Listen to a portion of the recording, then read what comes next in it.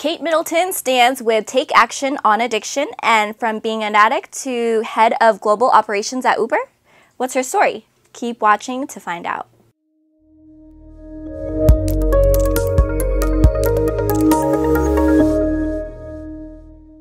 We'd like to take a few seconds to bring focus to the tens of thousands of Americans who suffer from the disease of addiction.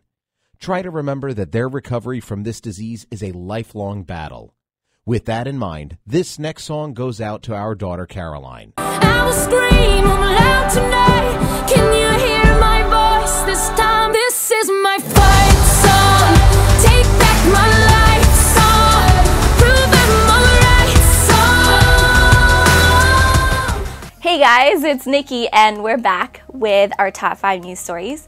For the past five years, the Kurtz family has set up thousands of Christmas lights on their house, syncing the display to music, but this year made it special by dedicating it to their daughter, who is currently in recovery from heroin abuse.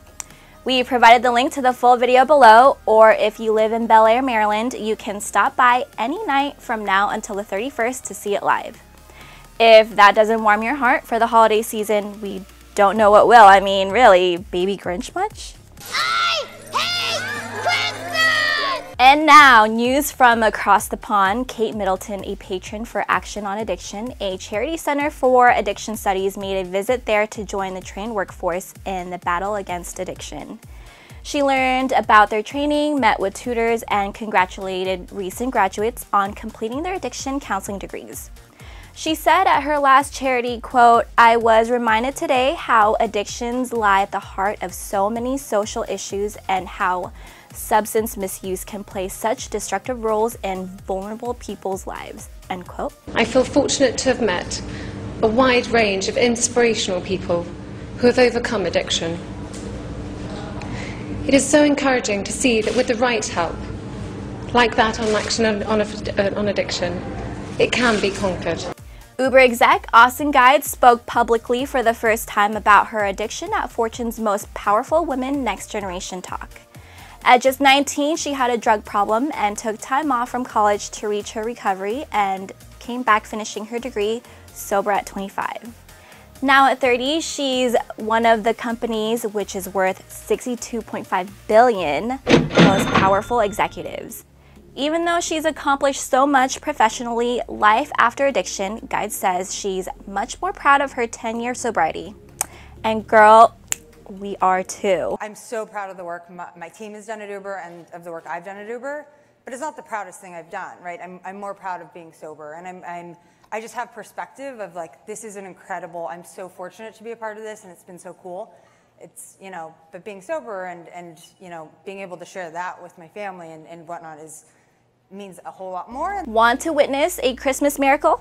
A selfie video shows a pizza delivery driver was overwhelmed with a surprise $700 tip from members of an Ohio church.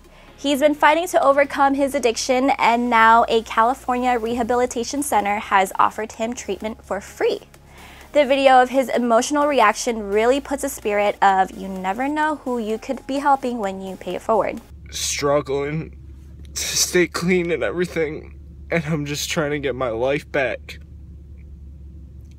And it just really, truly just amazes me that people that don't even know me just wanted to help me out that much.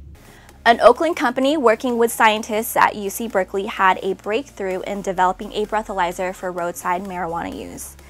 The new product is said to be able to measure the THC levels, which is a psychoactive component in cannabis, within one or two blows. The company hopes to have the product ready by the end of next year, and we hope this will help prevent freak accidents from occurring. Ten. All right. All right. Well, you got a pretty good balance. Thank there. you. Uh, I want you to step, bump, step, bump, bump, step, bump, step, bump, bump. Five, six, seven, eight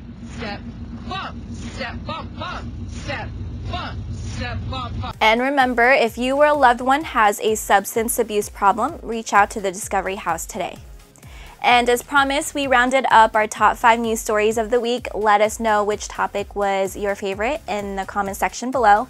And please remember to share and like this video. You know we love it when you do. Tune in next week for the trending topics of the moment. This is Nikki reporting for the Discovery House News, where you can discover your recovery. Thanks for watching.